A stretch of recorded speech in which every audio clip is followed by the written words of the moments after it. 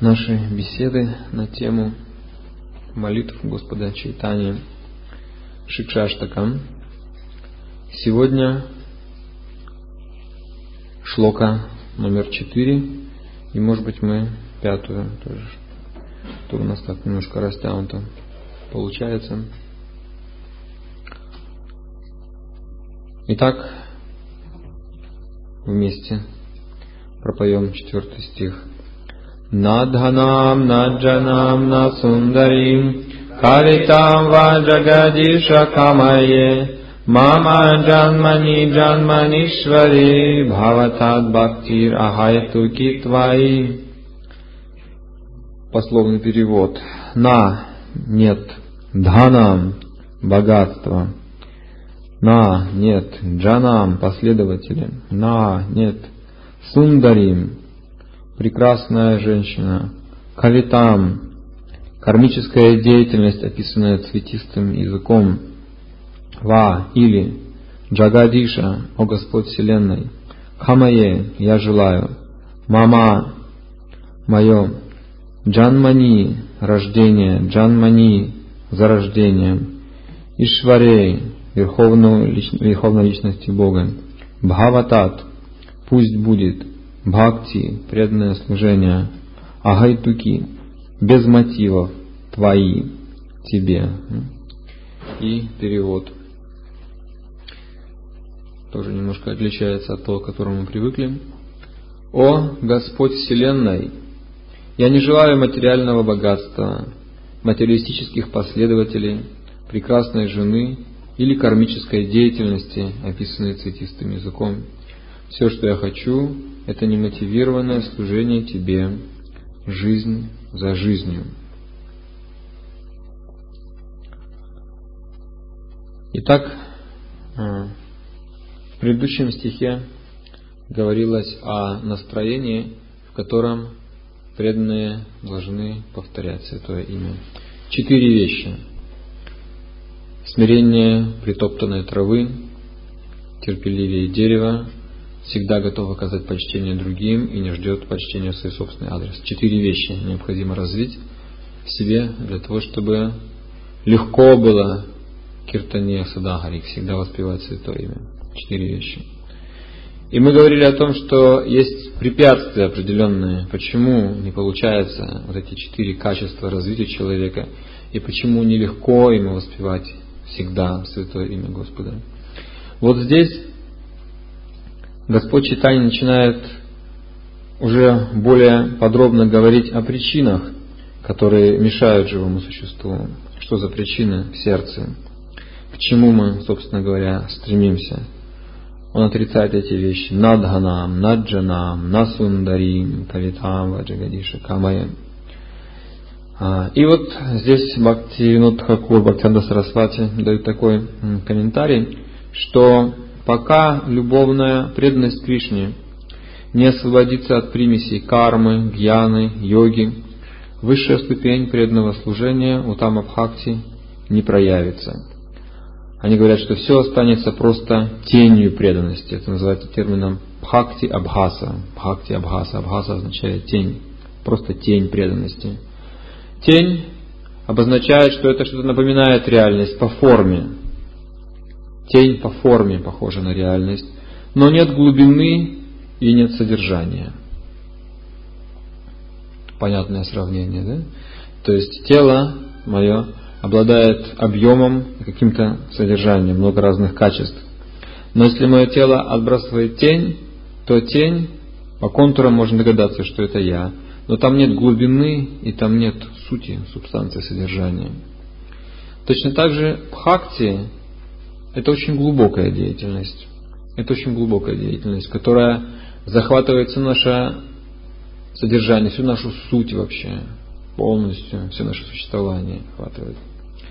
Но если мы не можем погрузиться полностью в эту деятельность, вследствие того, что привязаны к каким-то вот поверхностным материальным вещам, которые здесь перечисляет Господь Чайтания, то преданное служение наше остается по своему качеству бхакти абхаса, тень бхакти. То есть что-то похожее на бхакти, но лишенное глубины и истинной сути. И почему это так?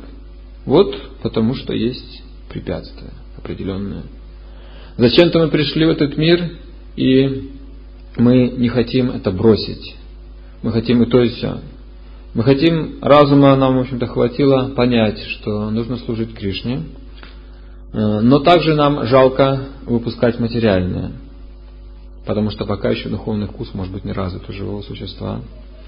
Я наблюдал, как в этом году обезьяна одна во Вриндаване, я ей там кидал куски папайи, кормил, они там жили.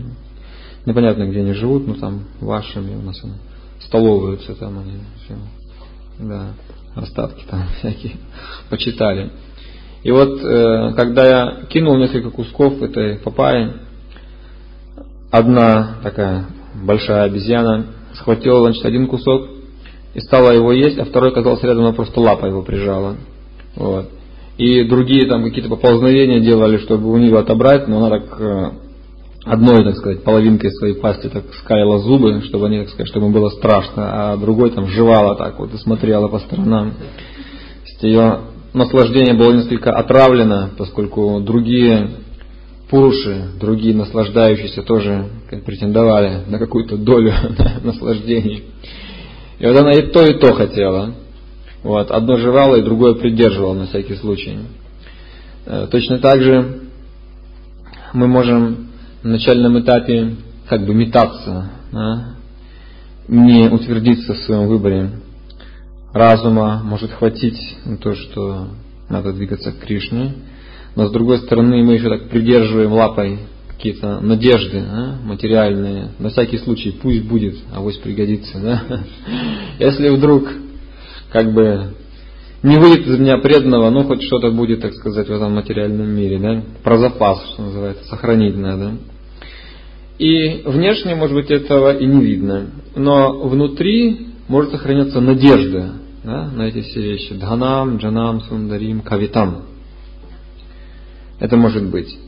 И вот именно это и лишает бхакти преданное служение глубины настоящей. То есть пока еще не развиваем полностью а, преданного служения. Но мы не должны отчаиваться в связи с тем, что могут быть какие-то материальные желания. Потому что сам процесс преданного служения, даже если он еще не развитый, исходит из души. Сама по себе вера, маленькая вера, шрадха, которая у нас есть, которая приводит нас на путь преданного служения, исходит из души. Все остальные препятствия исходят из ума и тела. И в этом их слабость. Наша духовная вера слаба, но она исходит из вечного источника. В то время как препятствия могут быть сильны, но они исходят из временного источника. И поэтому, если мы продолжаем оставаться на пути преданного служения, несмотря на какие препятствия, то вот эта духовная энергия, энергия какой-то может быть совсем слабой, какой-то отраженной любви к Богу, какой-то бхакти, да, пусть даже еще как тень это бхакти, с течением времени все-таки уничтожит эти временные препятствия. Потому что эти препятствия исходят из природы ума и тела, то есть материальных субстанций, не присущих душе, отличных от души. Поэтому, хотя они внешне сильны, они исходят из временного источника. В то время как духовная сила наша сейчас может быть скрыта, она пока может быть слаба, но она исходит из вечного источника, из души. И в этом сила, да, в этом предпочтение э, духовной энергии. Потому что вера и любовь к Богу принадлежат к высшей энергии. Это высшая духовная энергия, которая по своей природе сильнее, чем э, материальная энергия. И духовный процесс освобождает постепенно душу, сознание от этих примесей, которые возникают в связи с тем, что сознание смешивается с материальной средой, с материальной атмосферой. В этом сила процесса. Обычно люди в своих молитвах, даже религиозные люди, как правило, уровня каништха хикари, то есть новички в духовной жизни, которые приходят э, на религиозный путь, как правило, ради того, чтобы решить свои проблемы или спастись от бед, как правило, они именно просят этих вещей. Они просят богатства, просят славы последователей, а, просят мирской любви, просят э, какого-то материального убежища, не понимая, что в действительности эти вещи являются препятствием на пути духовного прогресса. То есть, если мы рассмотрим мотивы, по которым люди, как правило, обращаются к Богу, то увидим, что это как раз есть эти мотивы. Тханам Джанам Сундарим. Богатство, слава, мирская любовь. Это, как правило, то, ради чего обращаются к Богу. Но здесь Господь Читание обращается к Кришне наоборот, для того, чтобы Он убрал из его сердца эти вещи. Иногда спрашивают люди нас, чем вы отличаетесь от других конфессий, разных течений и так далее. Если вы хотите ответить коротко, то можно сказать мотивами. Для чего? Да? Для чего обычно люди к Богу обращаются? Они могут сказать, и вы обращаетесь к Богу, и другие обращаются, такие, такие там, протестанты, православные, там, католики, кто только не обращается к Богу. И вы обращаетесь. В чем разница? Разница в том, зачем обращаемся, да? что мы хотим от Бога. Кто-то хочет, чтобы Господь загрузил нас материей. Да? Вчера немножко во время этой лекции праздничной я коснулся этой идеи о том, э, что считается благом для человека сейчас, в Кали-Югу, что принято считать благом. И мы как бы пытались проанализировать, что благоприятными условиями да, для человека являются условия, где есть прогресс материальный. Это называется как там национальный доход на душу населения, да?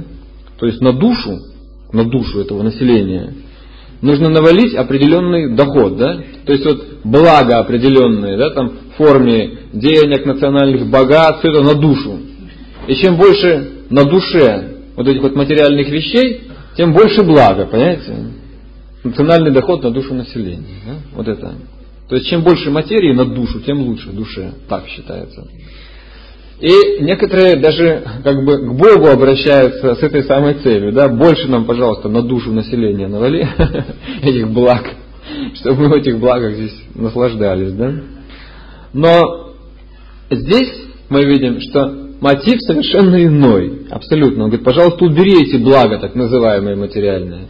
Потому что именно эти блага материальные мешают мне пережить высший вкус – по-настоящему стать счастливыми.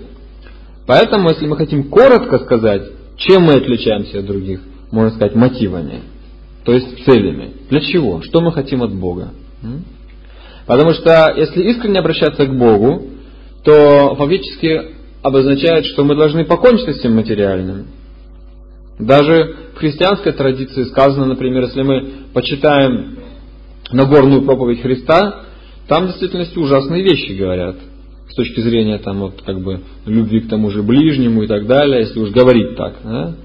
Там говорится, что любовь к миру есть вражда против Бога. Понимаете? Любовь к миру есть вражда против Бога. И любой, кто любит отца и мать больше, чем меня, да, тут враг мой, на самом деле. Там ужасные вещи сказаны в этой Нагорной проповеди, если внимательно ее почитать. Понимаете? То есть о полном отречении сказано, о полном отречении от материального мира. Обычно люди не замечают этих вещей. Никто не против, конечно, там э, любви к ближним и так далее, но в духовном свете, в понимании того, что все мы ближние на духовном уровне, на духовном уровне мы все ближние. Так вот, здесь очень важно как раз разобраться с этими мотивами. Что же это такое? И Господь Читание Шичитани Махапрабху говорит, что вот эти вещи, дханам, джанам, сундарим, кавитам, обычно о слове кавитам мы не говорим, здесь мы поговорим об этом, это то, что мешает развитию преданного служения. Поэтому, когда он говорит «не хочу всех этих вещей», нужно понимать, что не просто как бы он не любит, да, к какому-то богатству, он как-то плохо относится или еще к чему-то. В конце концов, Рупа Госвами сказал, что богатство, не богатство, суть не в этом. Юкталай раги, нужно все использовать. Все можно использовать, и богатство, и последователи там, и красавиц всех этих сундарим, кого угодно можно использовать в преданном служении. Но почему-то здесь Господь читание говорит, что не хочу, не надо. Вот, потому что, как правило, как люди не могут этим пользоваться. Да? Сначала нужно очиститься от этого, стать чистым, да? от самих мотивов. А потом, когда человек будет чистым, тогда Господь уже даст то, что необходимо, и человек может это правильно использовать. Итак, что такое обозначает ганам? Когда мы говорим богатство, а в нашем понимании это сразу какие-нибудь там, не знаю, э, видео, видео магнитофоны, какие-нибудь дома, там, машины, богатство, да, вот такое все, какие-нибудь ковры там, шикарные квартиры, когда мы говорим богатство, да, или там какие-нибудь доллары там, или золото в слитках, вот это дханам, да, представляется. А в действительности под словом дханам в данном стихе является а, богатство, накопленное благочестивым образом да, вследствие исполнения дхармы. И какие богатства могут быть по-настоящему?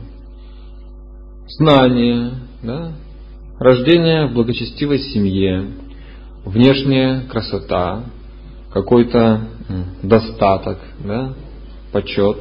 Вот это настоящее богатство. Не просто вещи. Мы обычно мыслим о богатствах, таких вот кондовых, таких вот деревянных категориях богатства, да? Вот, но ведические представления о богатстве более тонкие, более тонкие, богатство, достояние, дханам. Итак, это то, что накоплено благочестивой деятельности дхармы. Джанам здесь относится буквально к жене, детям, сыновьям, слугам, подчиненным, друзьям и родственникам. Джанам. Джана буквально означает люди. Да? не хочу как никаких людей вокруг меня. Да? Не то, чтобы он в пустыне не хотел, не хотел бы жить. Да? А джанам обозначает то те, кто как-то, так сказать, следует за нами, те, кто как-то связаны с нами, зависимы от нас. Потому что отношения с людьми в этом мире запутывают нас, запутывают. Мы развиваем симпатии не к тому, кому надо, да, запутываемся в этих отношениях, симпатии, антипатии, обязанности какие-то. И в конце концов, вместо того, чтобы развивать отношения с Кришной, живое существо просто как рыба в сети. Знаете, вот сеть, когда поймали, она там трепыхается, не может выпутаться никак. Точно так же и этот материальный мир это просто сеть. Гуны так переплетаются, такая сеть, что живые существа просто как рыбы, пойманные в сеть, никак не могут вырваться. Поэтому последователи, все эти джанам, все зависимые от нас, для человека, идущего по духовному пути, это не всегда благоприятное общение, потому что они впутывают нас в материальное существование. Далее, э, вот интересная такая трактовка, раньше мы этого не слышали. Теперь Бхактинат Хакур разбирает не просто там сундарим, а он говорит сундарим кавитам. И переводится это довольно интересно. Сундарим, сундарим обозначает красивый буквально, да? Сундарим кавитам, кави это обозначает поэт или поэзия. Сундарим кавитам обозначает витиеватая поэзия вет. То есть, э, когда мы, например, говорим, там, э, переводим стихи Шикшаштаки, не желаю там прекрасных женщин там, и так далее, а если женщина читает Шикшаштаку, ей как переводить? То же самое. А? То есть фактически более, может быть, правильно это будет перевести «не желаю мирской любви». Ну, хотя, конечно, Господь Читания, он ну, в своем теле, как это говорил, да, вот, как э, преданный, да, мужчина, он не говорил, не желаю прекрасных женщин. Но если преданная женщина, Шикшаш такой учит, для нее, в принципе, в общем-то, как-то это может быть не так актуально, да, вот, поэтому э, для нее должно быть ясное понимание, что речь идет о мирской любви, один пол, другой пол, вот это само понятие. А Сундарим кавитам в действительности переводится как витиеватая поэзия вет, то есть изящная, красивая поэзия вет. Почему так говорит здесь Господь Читания? Потому что, опять же, ведическая литература запутывает человека. Сегодня утром я коротко сказал о том, какая она обширная, какие подразделения, что есть самхиты, есть брахманы, раньяки, упанишады – и все это, в общем-то, как бы говорит э, об одном и том же, немножко с разными акцентами всему свое время, там сначала одно, потом другое, потом третье. Вот. Но вообще в этом океане ведической литературы можно просто потонуть. И Кришна тоже в Бхагавадгите говорит, когда цветистый язык вет не будет больше смущать тебя, да, вот тогда ты достигнешь самоосознания. С одной стороны, веды предназначены для возвышения человека, с другой стороны, веды обещают такие всякие пряники, там эти райские планеты, такие вообще там всякие чудеса и так далее, что это в действительности отвлекает живое существо. Сваргалока, все эти райские наслаждения, это, конечно, может быть лучше, чем жизнь в аду и так далее. Но на самом деле это просто-напросто заплетает мозги живому существу. Чувство наслаждения на этих же райских планетах просто-напросто опьяняет живое существо. Есть э, такой храм в Южной Индии, храм Вишну, который очень оригинально построен. Очень оригинально построен.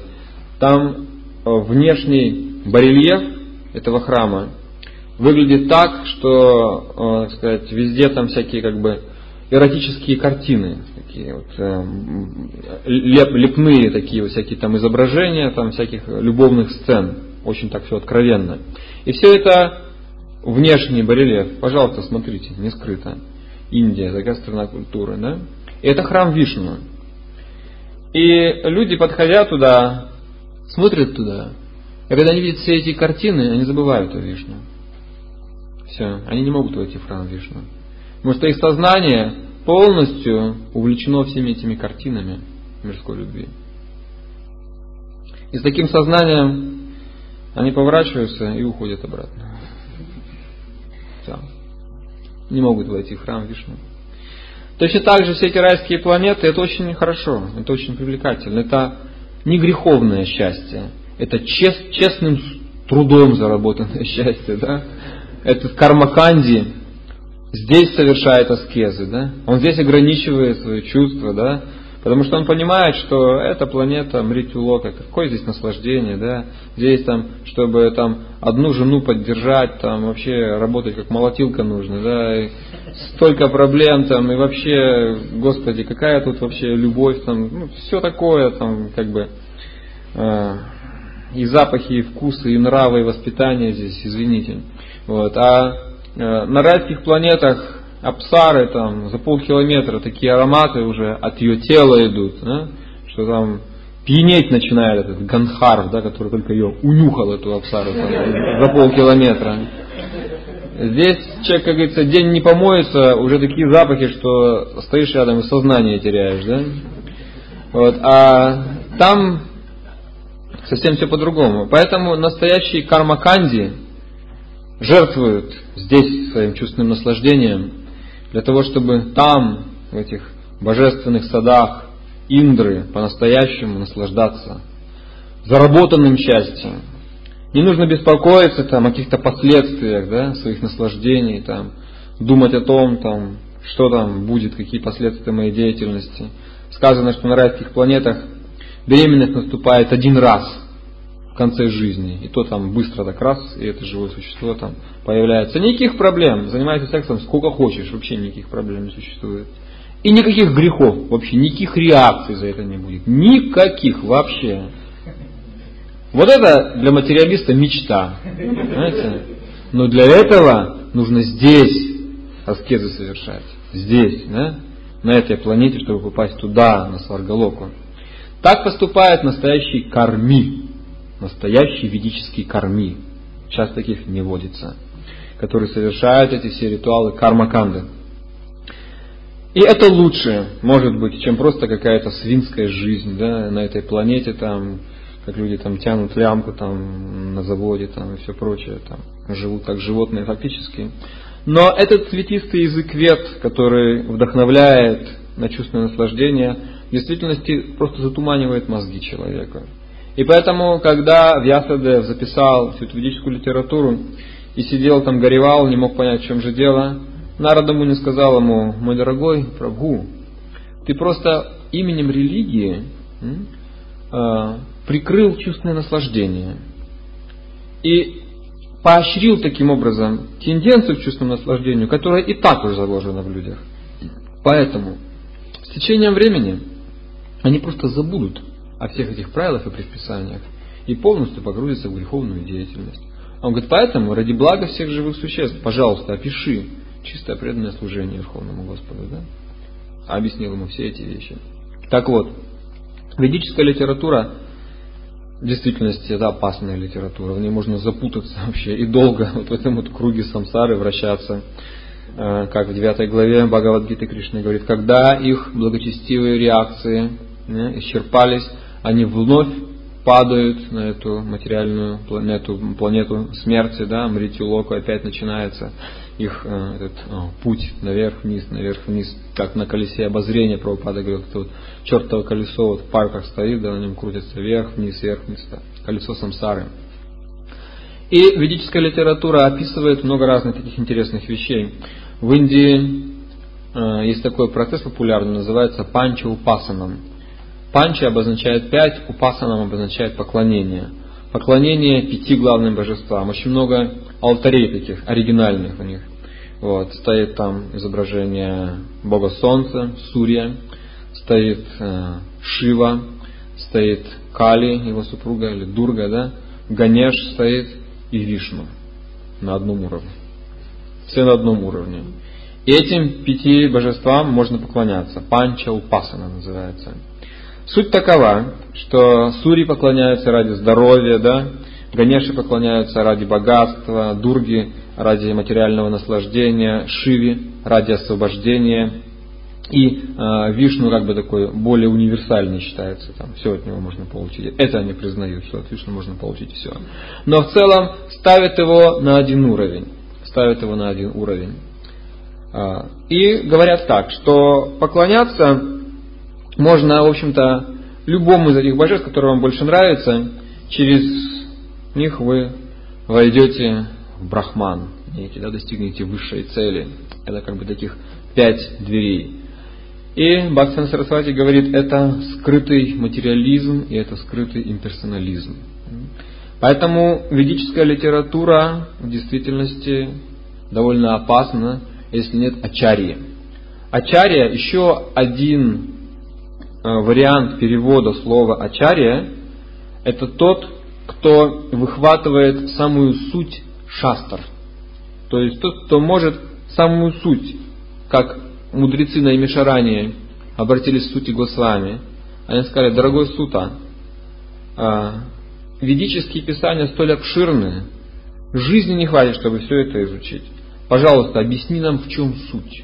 Выбери самую суть. Потому что жизнь людей в Калиюгу коротка. Они ленивы, глупые, забывчивы, да, вздорные. Пребывают в постоянном беспокойстве, память у них короткая. Да? Поэтому, пожалуйста, объясни самую суть, с такими качествами, да, как люди вообще могут э, что-то запомнить. Лекцию какую-нибудь, да, там э, мы слушаем, в конце уже что-то там прослушали, что было в начале, мы уже не помним, да, такая память. Вот, поэтому, он говорит, самую суть, давай, объясни. И Ачарья это тот, кто может из всего этого океана ведической литературы самую суть выхватить и презентовать, дать. Вот, пожалуйста. Вот это самое главное да, в ведах. Те же, кто не совсем искренне и не ищут сути вед, пожалуйста, они могут кувыркаться в этом круговороте рождения и смертей, э, используя веды, следуя путям там, той же самой а, кармаканды и так далее.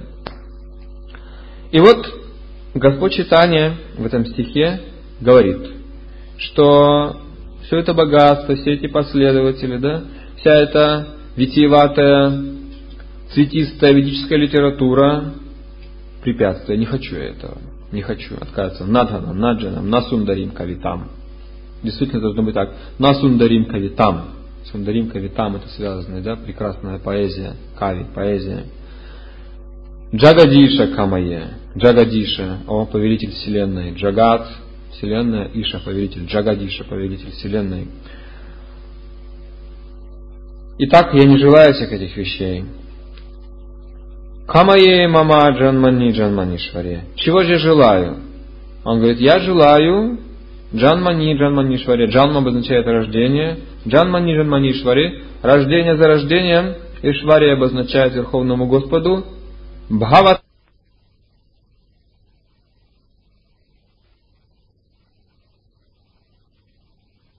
тому, кто всем управляет. Бхактир. И не просто преданного служения, а какого? Ахайтуки. Это одно из ключевых слов. Агайтуки обозначает не имеющие мотивов. То есть в конце стиха он обращается к тому же, с чего начал. Надханам, Наджанам, Насундарим. Это и есть те самые мотивы. Это и есть те самые мотивы. И теперь агайтуки. А обозначает отрицание. Хайтуки да, и агайтуки. А обозначает отрицание. То есть сначала он отрицал словами на, надханам, наджанам, насундарим. И в конце еще одну форму отрицания. Агайтуки. Еще раз повторяю ту же самую мысль. Без примесей, бхакти. Твои. Кому? Тебе твое, твои, да? Агайтуки, бхакти агайтуки, твои. Твое преданное служение или преданное служение тебе без а, мотивов. Мы в этом материальном мире ценим стопроцентные вещи. Покупаем, скажем, сок. Это что, корейский суррогат какой-нибудь там из химикатов? Или стопроцентный натуральный сок? Сто процентов натуральный сок. А? Здорово, хорошо, настоящий нектар. Мы говорим, вот это настоящее. Настоящее. Что свитерок? Шерсть сто процентов? Или сколько там? 70% какой-нибудь акрил, там все остальное якобы шерсть, да? Потом ходишь весь трещишь, там искры от тебя летят во все стороны, да? Хотим чего-то стопроцентного, настоящего, да? Чтобы любовь была настоящая, да? чтобы пища у нас была настоящая, одежда настоящая, все такое стопроцентное, настоящее. И следуя этой логике, мы также должны стремиться к тому, чтобы развить в себе настоящее преданное служение. Да? То есть, так же, как вот в материальном плане мы хотим, чтобы все такое было качественное, да, вот качественное, стопроцентное. Также нужно стремиться к тому, чтобы бхакти, преданное служение было стопроцентное, качественное, без примесей. Не так, что написано ярлык. Преданный, да? 70%. Там, карма гьяна такая, 30% бхакти, да? Стопроцентное преданное служение должно быть. Агайтуки, без примесей. Надханам, наджанам, насандари. То есть, это стремление к качеству. Жизнь должна быть посвящена развитию качественного преданного служения. Не бхакти абхаса, не тень преданного служения, а настоящее преданное служение. Не иллюзия, не китайская подделка, да? не калиюжная подделка на бхакти, а настоящее преданное служение. Да, сейчас такая эпоха, много пиратов, да, которые там используют какие-нибудь имена, там эти торговые марки какой-нибудь там Adidas там, или Puma или что-нибудь еще. И всякое, так сказать, барахло, да, под видом настоящего, да, там, китайский Adidas, да, понятно, да, или еще что-нибудь такое. Знаю, что через месяц можно выкидывать. Вот. Точно так же, как мы стремимся к качеству в материальной жизни, не покупаем всякое барахло, мы говорим, да, что скупой платит дважды, лучше сразу купить настоящую вещь, хорошую вещь, которой можно долго, долго пользоваться. Точно так же в духовной жизни мы должны стремиться к качеству. И вот в этом стихе Господь Читания призывает нас к качеству. И говорит, от чего мы должны избавиться. Бхакти может быть разбавлена вот этими вещами. А, например, в 44 стихе 2 главы Бхагавадгиты э, Кришна говорит, Бога Ишваря прасакта нам, тая пахрита чета сам, вьява саятмика буги самадха на видьяте. Что те, кто привязаны к чувственному наслаждению материальному богатству, вернее, те, чей ум привязан к чувственному наслаждению материальному богатству, и те, кто обмануты всем этим, не могут с полной решимостью, да, с полной такой однонаправленностью отдать себя преданному служению мне. Бога Ишвария, Бога обозначает наслаждение, да, а Ишвария богатство. Бога Ишвария просакта нам, привязанный. Тая пагрита, а пагрита обозначает обманутый, чета сам. То есть тот, чей ум обманут Богой и Айшварией, да, этим вот богатством и э, наслаждением. Тая пахрита чета сам. Вот у такого человека, который обман всеми этими вещами, в явасаятмика Будхи, то есть этот разум однонаправленный, да, на Кришну, самадхау на видьяте, не может этот разум утвердиться в самадхи, в такой концентрации на Кришне. Потому что ум, более низкий элемент, привязан и обманут. И поэтому нет решимости заниматься преданным служением. На пути преданного служения то, все, другое, третье хочу. Да? Вот это есть препятствия, которые и на самом деле не позволяют нам быть смирение ниже притоптанной травы, терпеливее, чем дерево, оказывать почтение другим и не желать почтения со собственный адрес. Именно по этой причине не развиваются четыре вещи, что внутри есть надежда и ожидание да, на Дханам, на Джанам, на Сундарим, на то, что будет у нас что-то такое все-таки. Будет и на моей улице праздник, да, как говорят материалисты. Когда-нибудь праздник будет, вынесут вперед ногами, да? В ящике. Сыграю в ящик. Лила, да, такая, сыграл. Потом напьются всех на похоронах, да? И будут все прославлять, говорят, эх, хороший был человек, наливает. Празднуют. Вот. Одним словом, палки должно быть очищено от всех этих примесей. То есть в этом стихе самый высший уровень мотивации, с которой человек может вообще обратиться к Богу. На этом я делаю паузу. Сейчас какие-то вопросы. Если останется время, перейдем к пятому стиху. Пожалуйста.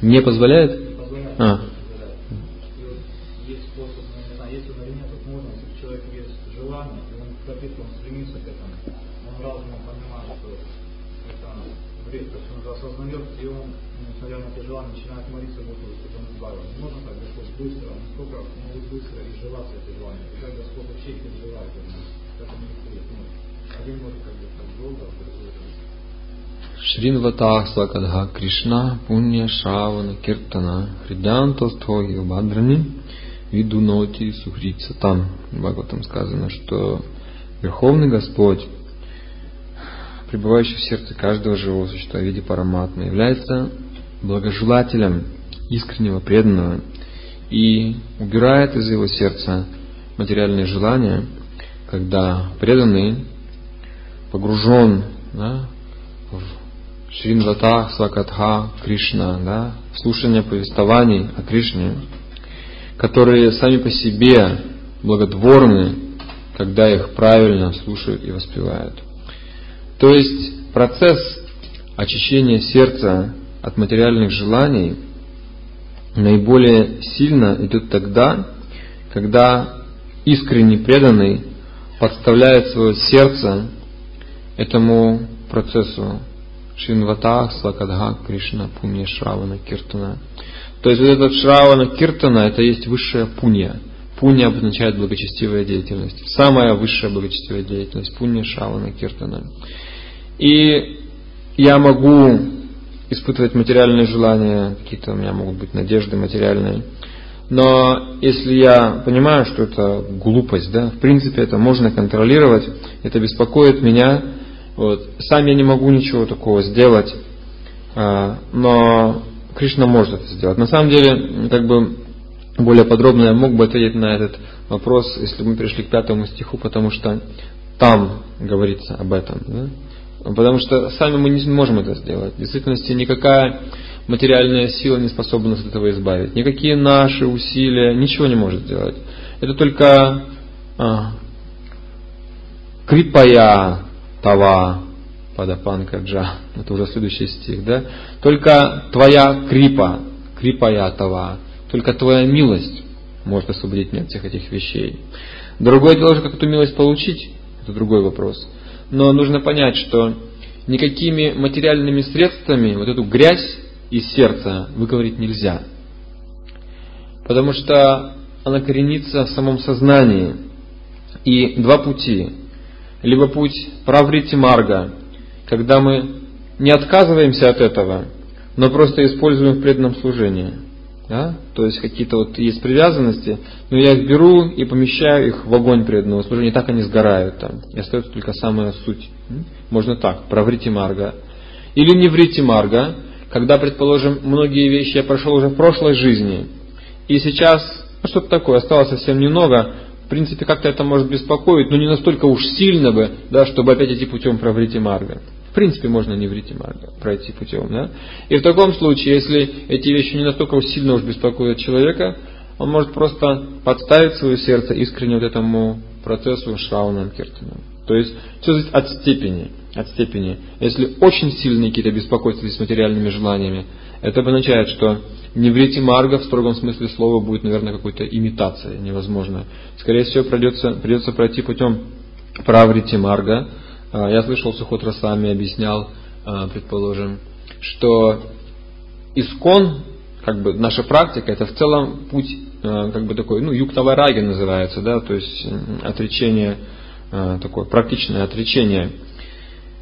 И, например, если в исконе говорить о двух этих понятиях, праврити марга и неврити марга, он говорит, что, предположим, семейный уклад жизни позволяет праврити марга, да, праврити марга, некое как бы чувственное наслаждение по религиозным принципам. Человек хочет иметь какие-то там свои независимые деньги, там какое-то свое дело, там все прочее, как-то он э, живет, ну, для ощущения, ощущения, немного как бы чуть-чуть своей жизнью, но в связи с Кришной.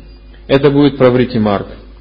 Вот. Если человек прошел все-таки уже в прошлой жизни все эти вещи, и какие-то могут быть там чуть-чуть беспокойства, но не такие уж прямо, что совсем там, да, из ряда.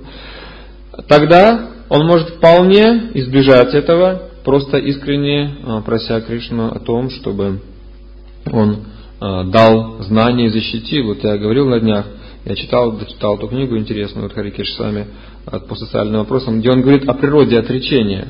Он говорит, отречение не в том, что вы перестаете там кого-то любить или что-то еще. Он говорит, это когда знание добавляется, тогда отречение наступает.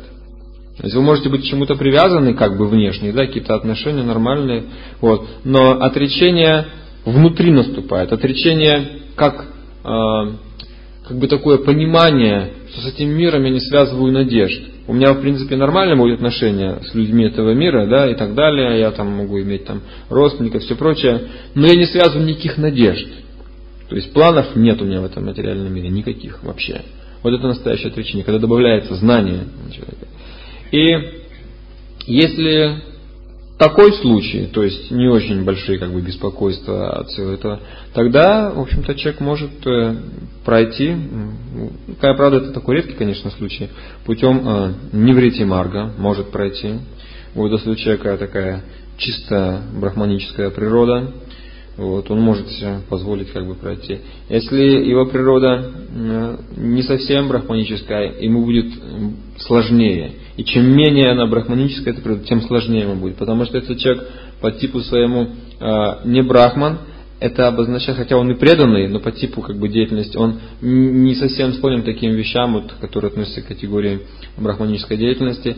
Это обозначает, что э, он не сможет удовлетвориться простым стандартом брахманической жизни. А для этого ему значит, нужно будет какое-то вот другое хозяйство развивать, что называется. А это уже ну, в брахмачарском вашем или вашем саньясе не практикуется. Да? То есть это для этого существует уже отдельный уклад жизни. Поэтому здесь нужно просто э, очень внимательно проанализировать свою ситуацию и тогда уже делать выбор, называется. Еще вопросы?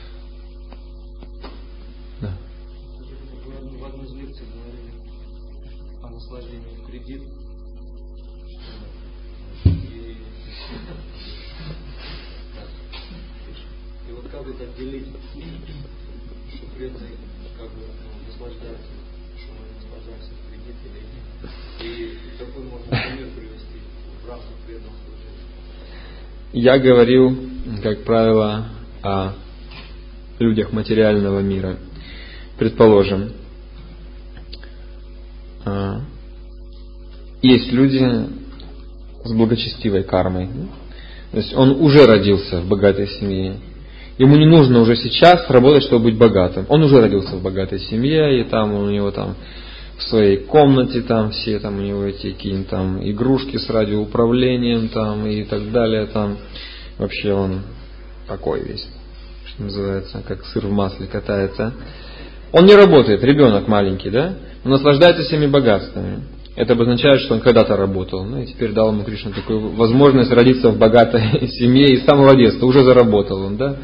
И все у него там отлично, и наследство там, и папа, и мама там, у него там и машины, и дома, и дачи, нет никаких проблем. Это значит, он работал. Другой человек может этого не иметь, но хотеть иметь. Да? И, а, предположим, он пытается добыть себе богатство неправедными средствами. По карме ему не полагается сейчас быть богатым. Но хочется. Он видит, как другие богаты. Да? И поэтому он идет на какие-то криминальные действия, которые а, могут помочь ему а, быстро чем-то овладеть. Например, честным трудом деньги зарабатывать долго, да? А если кого-нибудь ограбить, например, то можно быстро, да, отобрать у кого-нибудь там деньги. Вот, и быстро этим овладеть там и все прочее. Но поскольку по карме это не полагалось, то мы как бы не заплатив, да, кредит это обозначает, что мы не платим полную сумму, да, а чуть-чуть, маленький какой-то взнос, да, маленький. Вот, и берем вещь, да, не выплатив полную сумму в магазине, оформили там условия кредита, да, взяли там какую-нибудь штуку, чуть-чуть заплатили и понесли. Вот, и нам говорят, будешь выплачивать, да, год, например, или там с твоим предприятием заключают договор, и там зарплаты какую-то каждый месяц сумму, да, высчитывают для того, чтобы потом погасить общую эту цену. Это называется в кредит. Мне не полагается по карме вот какая-то вещь, предположим, но я очень хочу, да, и я как-то, скажем, овладеваю этой вещью. И теперь обозначает, что я должен буду чем-то платить позже, да?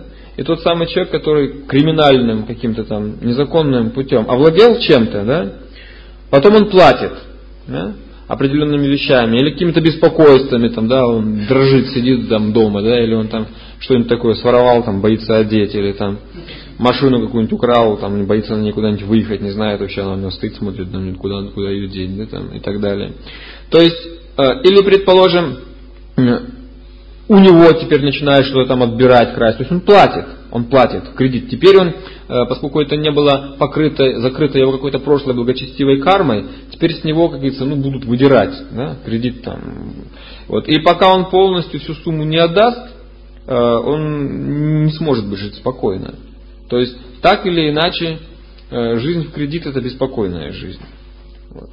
Поэтому Веда рекомендует просто довольствоваться тем, что выделено тебе как твоя доля, да, Шапанишат сказано, и все, не беспокоиться. Ты можешь как бы взять какую-то вещь, можешь попробовать, но если это не оплачено твоей кармой прошлой, то придется платить потом. Вот. И это вызовет беспокойство, потому что это не ведический путь, это чисто западная цивилизация. Жить, жить в кредит это западная цивилизация. Все повязаны вообще долгами, какими-то там обоюдными обязательствами. Вот. И Сейчас кого не спроси, все в долгах. Все в долгах. Вот, потому что люди, э, не имея благочестивой кармы, хотят наслаждаться вещами, которые могли бы от этой кармы прийти. Поэтому они берут в кредит да, что-то такое на разных условиях, и потом становятся вечными должниками. Это. В преданном служении, как правило, преданные так не действуют, насколько мне известно. Может быть, я не знаю, у кого-то есть какие-то примеры, но я не могу ничего такого придумать. Подумайте, может, что-нибудь скажет. Но вообще преданные как правило, уже довольствуются тем, что у них есть. Я поэтому говорил о материальной жизни, как правило, об этой жизни в кредит.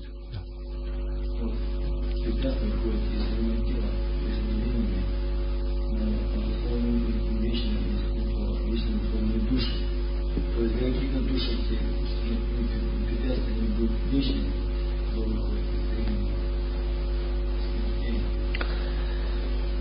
Нужно просто почитать книгу «Наше изначальное положение», там очень внимательно, хорошо описываются эти термины вечно обусловленные, нитя бадха и нитя ситха, вечно освобожденная душа.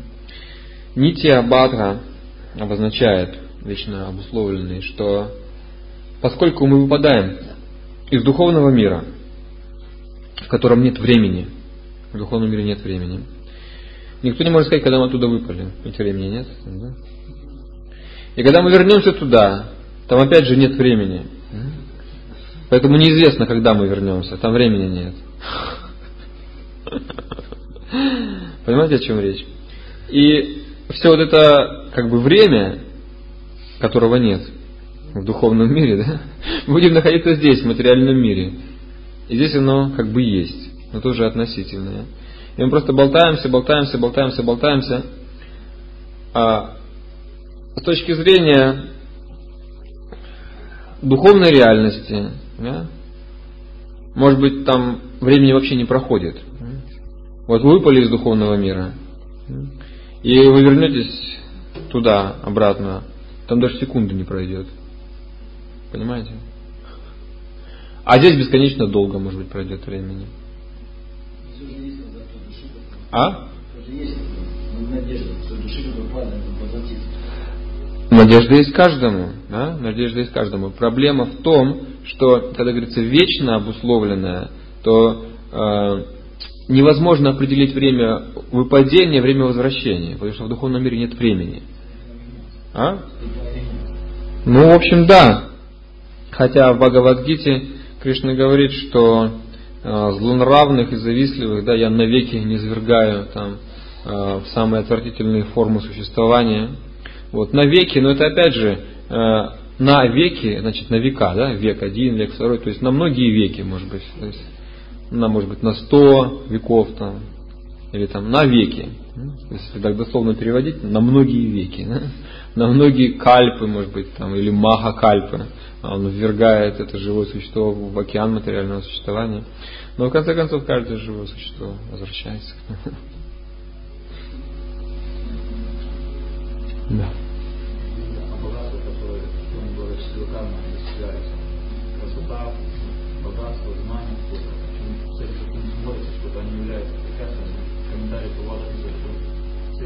Человек очень гордится, да.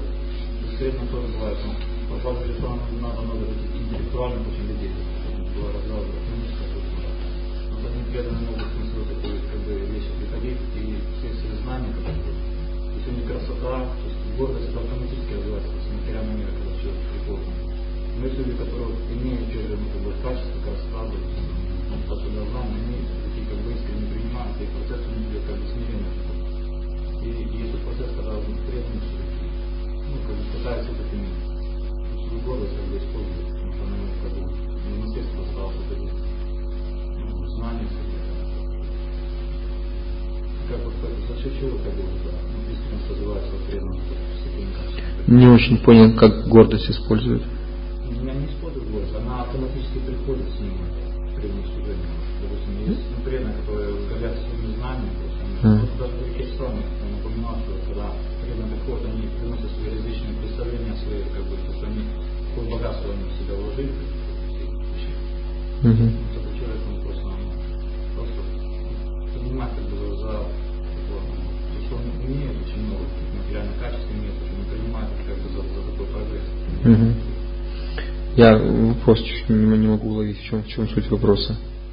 как бы, ну, как бы искренне становится, потому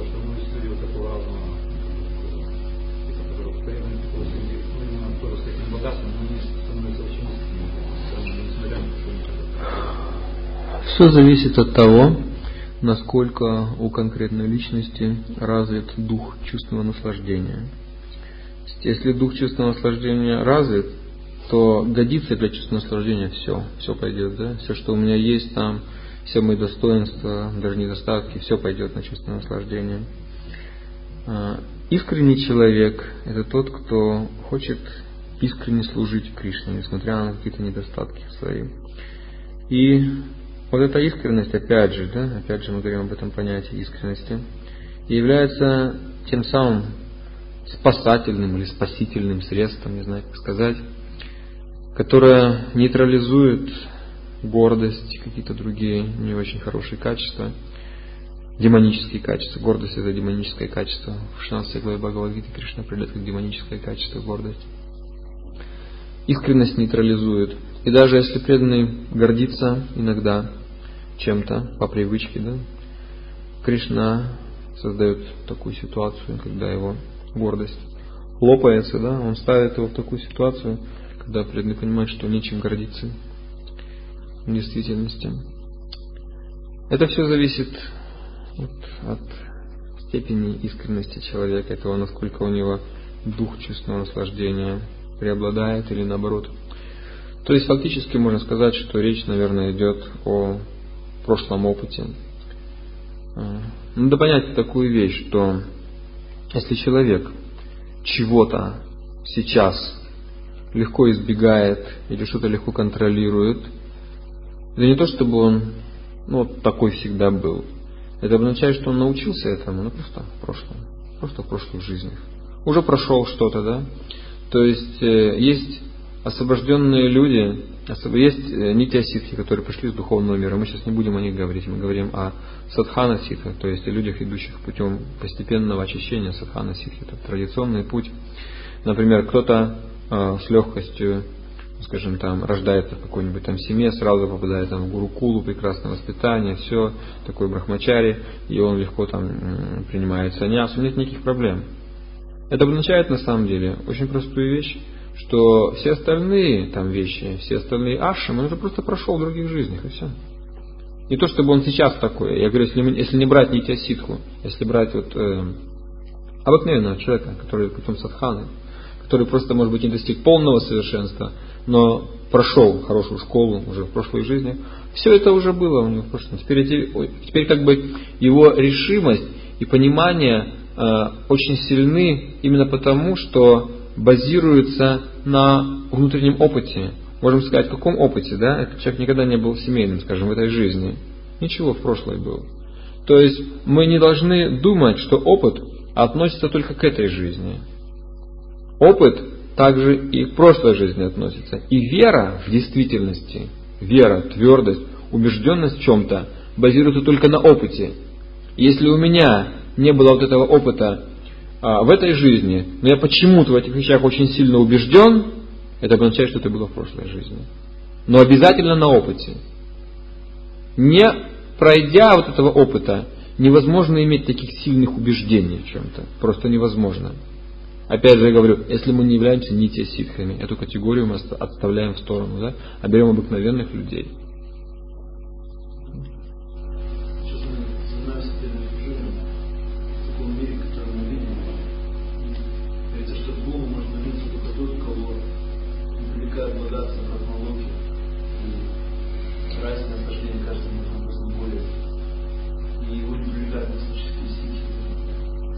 сейчас занимаемся такими процессами здесь, и мы, в общем-то, мало что понимаем. Даже хотя читаем, но значит ли это, что мы уже прошли все это, отказались в прошлой жизни, или нас ждут какие-то ну, соблазны с другого уровня, которые люди входят. То есть настоящие женщины, настоящие люди, натуральные. Серьезно. Или это означает, что в принципе мы избавились от этого, теперь просто очищаемся. Я не думаю, что Господь читания настолько жесток, чтобы там где-нибудь в конце да, такую свинью нам подложить. Ну, искусить нас какой-нибудь брахмалокой там или еще чем-нибудь. А, мы и так слабые, да? К чему нас искушать? Как Прохлада Махарадж когда ему Нарисимхадев предложил благословение, он говорит, зачем ты меня искушаешь? Ведь я же из семьи демонов. Я же даития по происхождению, да, демон. Зачем ты мне предлагаешь эти благословения? Я же могу легко прельститься. Демоны очень падки на материальные все эти благословения. Говорит, для чего ты меня искушаешь? Я же с тобой тут не договор какой-то там подписывать. Он серьезно так говорил. Я не хочу с тобой торговых отношений, да, что а я тебе служение, ты мне благословение. Я не хочу таких отношений. Мне нужны зачем? Зачем? Ты знаешь мои слабости, ведь я родился в демонической семье. А. Хотя Прохлад родился в демонической семье, вот, тем не менее, там